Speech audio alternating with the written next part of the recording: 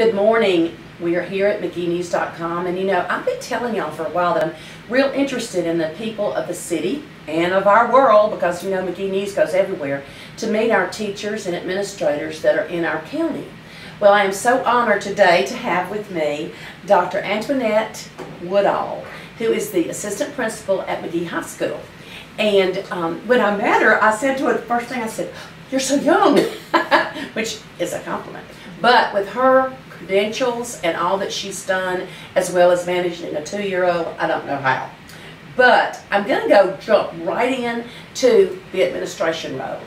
How have you liked administration? Is this your first year of administration? This is my first year as an administrator. This is my first assistant principal uh, position, and it's actually been going well. Uh, the kids have been very receptive, and the teachers at Magee High School have been very supportive.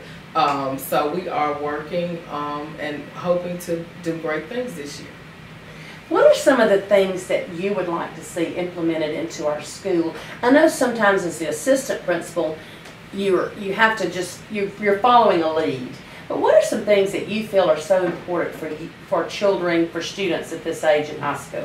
One thing that I would like to see is I would like to see the students be able to be more engaged and involved in extracurricular activities because we know that the more active they are, the better they do socially and academically because they have a support system to carry them throughout their high school years. In some of my past experiences, um, I've been the student government association coordinator or sponsor and we were able to transform a school based on our student government association and change the culture of the school by giving students exposure to experiences outside of everyday life at our particular school and in our city. Um, we hosted a series of college tours. We've taken, um, we took students to uh, Washington, D.C., as well as New York, so that they could tour different colleges and then just have that exposure that they need so they can understand the world is larger than Mississippi. Um, we also did a couple of college tours in the Memphis, Tennessee area as well. And of course, we toured just about every college there was in Mississippi. But students appreciate that and it lets them know that they have opportunities out there that can be afforded to them that can help them be successful, but we know that they need the exposure. I'm so glad that's one of your interests because I think that, you know, a lot of times people, children, students, and adults don't see anything outside of their little world. And if we do not expose them to what's going on in the world and take them on different tours, on different places to see things, some children never get an opportunity to see it at all, to be at all involved with it. What is your actual role at the school? As the, what does the assistant principal do? Uh, my role is, of course, to support uh, the head principal in all of her endeavors, but I primarily deal with discipline. I deal with buses, supervision throughout the school day, um, and supporting the teachers in the classroom, making sure that we get in and we see what's going on academically so that we can serve as a support system to those in need. I'm telling you this, if you're working with the buses, you've got my sympathy. We used to, we used to, it's, so, it's not funny, but it is funny. We would get so tickled. Uh, as most of you know, I have a scanner, and I have the police scanner now, which is digital, so there are not many around. But our other scanner would pick up Mr. Wayne on the school bus, and we would get so tickled at them trying to get everybody everywhere. But you know what was the neatest thing about it was the care and the consideration and the work. I was so amazed at getting each child where they were supposed to, to be. And I admire you so much for even figuring out how to do it because I know it's got to be a challenge.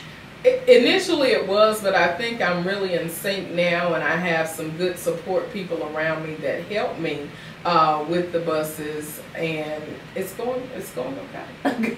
Bless you. One thing I do have to ask you about, because you mentioned that you were in charge of discipline, or one of the ones in charge of discipline. What are some of your um, views on discipline? How do you feel, um, what's your avenue of discipline?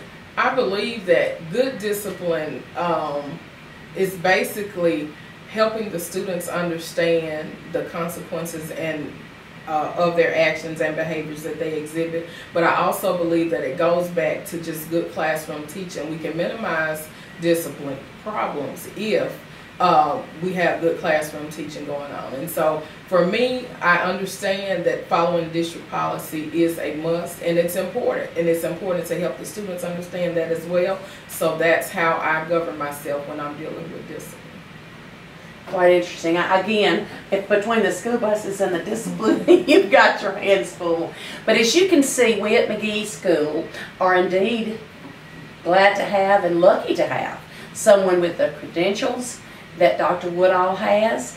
I did not give her an opportunity for her to tell you what all she has, so I should do that. Tell us a little bit about. Um, this is my 11th year in the field of education. I started my career in the Jackson Public School District. I worked a year in the Tennessee school system, and then I returned back to Jackson where I finished uh, my teaching career. Um, I transitioned as an academic coach in 2011 uh, to work in my alma mater where we were uh, working with the school improvement grant that was awarded to our school district for my particular school. Um, I've done academic coaching for language arts. I've done dual enrollment instructor for Hinds Community College.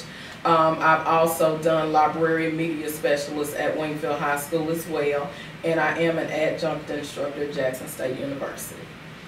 Well, I don't think I have to say much else because you are quite qualified, well-rounded, and Magee is fortunate. I hope you'll continue to learn about our teachers, give them your support, and keep up with things that are happening at Magee High School.